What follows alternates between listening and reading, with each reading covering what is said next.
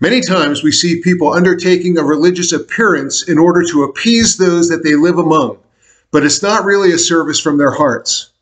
Whatever the primary faith is within a given geographic area, such is what the people will adopt, whether or not they actually believe it. This they do to keep the peace and to live and work without harassment. Not such a bad idea, I guess. Often this comes for the sake of family relations, the pressure from a person's family to conform to the religion which most of them follow.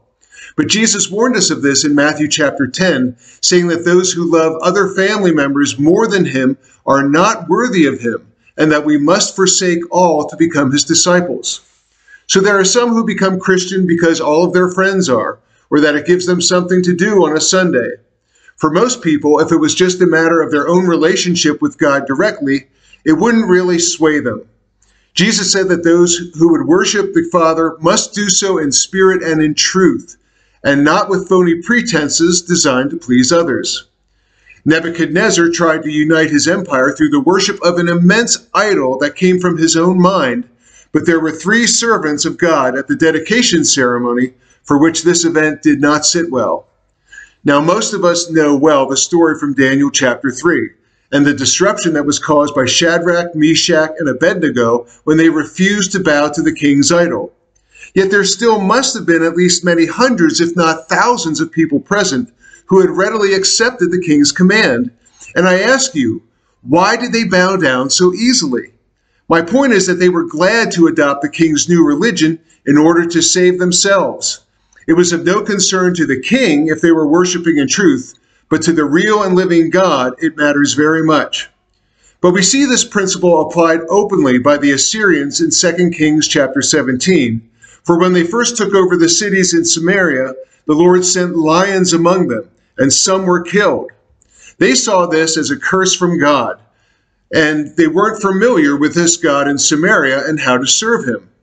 Yet when they began setting themselves to be free of this curse, they did it only in the most superficial of ways, for they still put their idols in the places where the Samaritans had worshiped the real God, and they even were sacrificing some of their children into the fire for the offerings of their ceremonies that they did.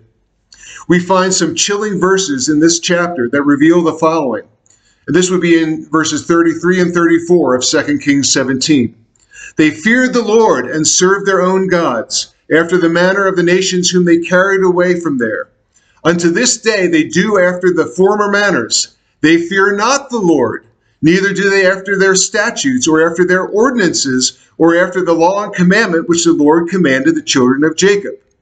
It concludes in verse 41 So these nations feared the Lord and served their graven images, both their children and their children's children, as did their fathers, so do they unto this day do. God is one of those others that some make a pretense of pleasing, and it goes hand in hand with pleasing people who will approve of you as being one of their own faith. But to be real, it must come from our spirit within and in truth. This Bible episode looks so much like what we've been seeing all around us of late, as many are trying to claim genuine faith in Christ without ever fully surrendering their lives to Him. Did the Assyrians actually fear the Lord in truth?